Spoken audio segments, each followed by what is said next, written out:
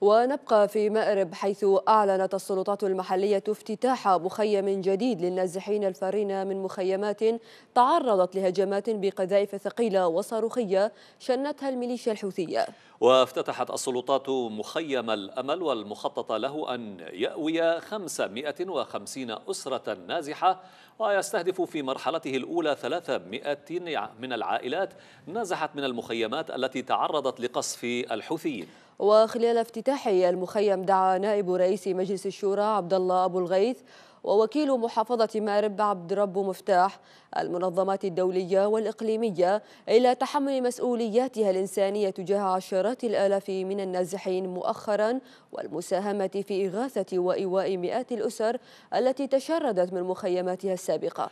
وقال نائب رئيس مجلس الشورى إن ميليشيا الحوثي تواصل تنكيلها بالسكان في مناطق سيطرتها ما يضطرهم للنزوح إلى المحافظات المحررة وفي مقدمتها محافظة مأرب التي تستضيف 60% من النازحين.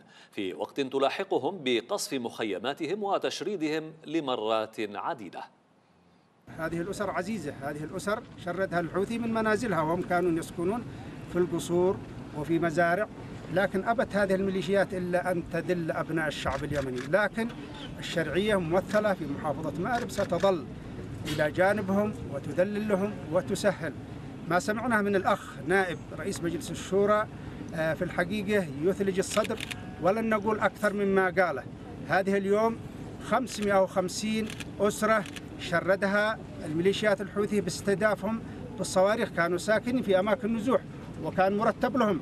لكنهم اليوم يعانون شرود للمرة الرابعة. كانوا في مخيم الخانق كانوا في الزبرة كانوا في مخيم التواصل إلا أن هذه الميليشيات البغيضة تستهدفهم من وقت لا وقت آخر.